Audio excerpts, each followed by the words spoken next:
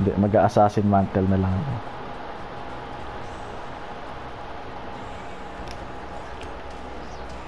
Oh, wow!